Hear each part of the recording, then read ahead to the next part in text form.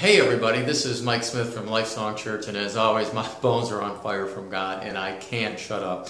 Hey, I've expressed this to everybody before that when America turns their back on God, four main things are going to happen.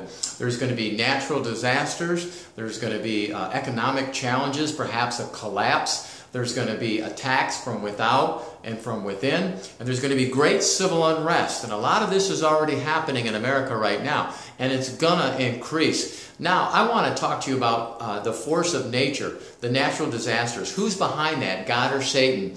Well, the answer is they both control the forces of nature. Let me explain this to you in the uh, Revelation, in the book of Revelation, Satan brings forth a flood and he tries to kill the children of God. But God opens up the earth and swallows the flood, protecting his people. When uh, the disciples were on the boat with Jesus, and Jesus said, Get in the boat and go to the other side, and they're crossing the sea.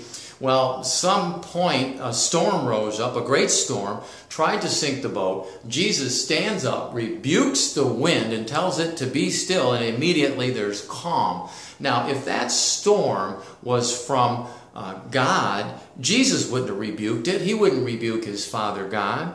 So we see that evil forces are behind that as well. But then yet God can do things with the nature, with the rain and the wind. The rainbow behind me is a covenant from God saying, Look, I'm not going to flood the whole earth again. But what God did is because of sin and wickedness, the flood came, but then the ones that trusted in Him, Noah and his family, and they offered everybody else to come on the ark that wanted to come in, and they wouldn't come. And then they closed the door, the flood came. But God protects His own, He watches over His own.